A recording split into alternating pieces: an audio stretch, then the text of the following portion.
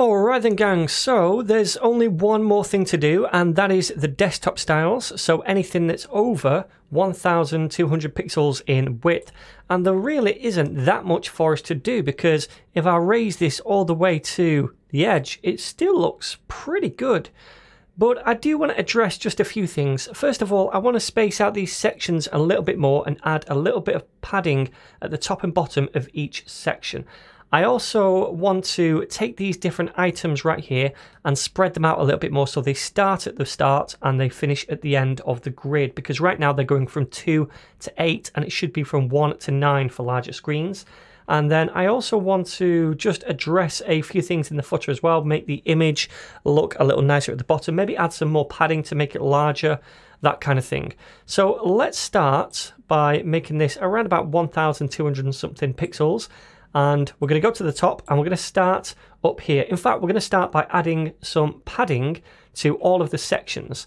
So I've already prepped the selector. I'm going to paste it in and we have welcome section, portfolio, skills and contact. So all four sections and all I'm going to do is say padding is 90 pixels to the top and bottom and zero to the left and right. And that just spreads everything out a little bit more. It looks a little nicer, right? Now, what I'm also going to do is now readdress these things down here. So I'm going to replace these items in different grid columns. So what I'll do is just come up to where we did it last time. We had these things right. And I'm going to come down here and paste it in again. Now, what I'm going to do is get rid of this where it says padding top 140 pixels for the second one. I don't need to change that, so I don't need to redefine it either. And for the first one, instead of starting at grid line 2, I'm going to start at grid line 1, but only go to number 3. The next one is going to start at 4 and end at 6. So in fact, we don't need that one in at all because we're not changing this. And the third one is going to start at 7 and it's going to end at 9. So we have a grid column gap between each one, right? But they're now starting at the very beginning and ending at the very end of the grid row. So if I save this, this should be more spread out, which is what I want for larger screens. That looks a bit nicer. Okay.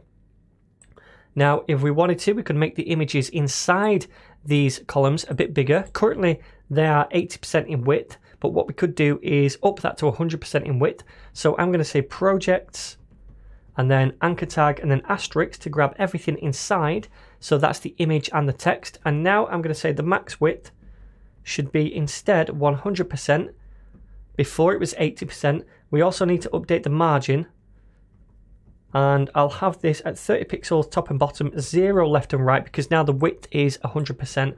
Save it and that is looking pretty nice. Okay, so let me go full width over here. Yep, looking pretty good. All right. So then, next up, let's go down and address a couple of things in the footer. I don't think we need to do anything here.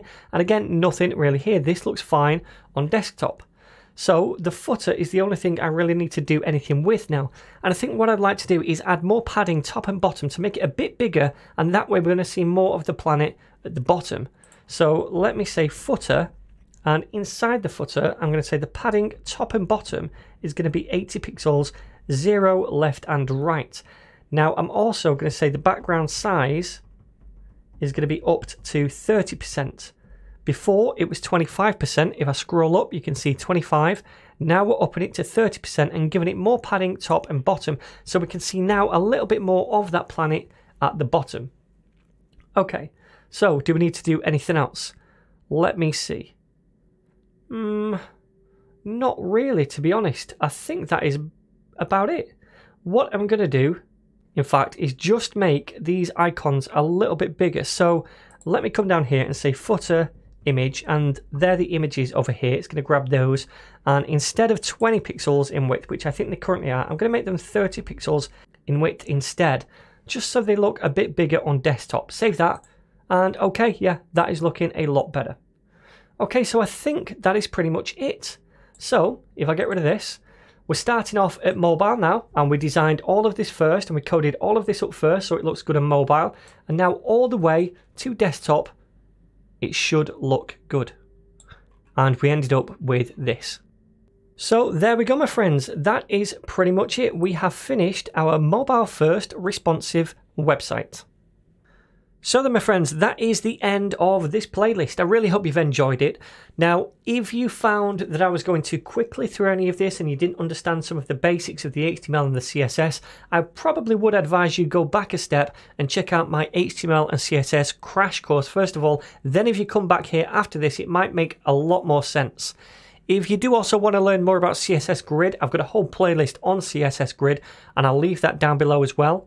Likewise, I have one on Flexbox. We did use Flexbox very, very briefly in this series, but really not much at all. We barely scratched the surface. So if you want to learn all about CSS Flexbox and how you can use that for layouts as well, check out this playlist, CSS Flexbox tutorial.